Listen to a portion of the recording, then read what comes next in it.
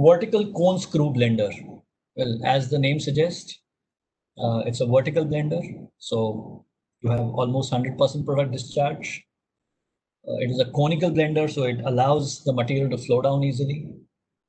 And you have a screw which acts as the mixing element. So the screw here is an orbiting screw. It orbits around the periphery of the vessel and uh, gently lifts the material up and then the material comes down by gravity.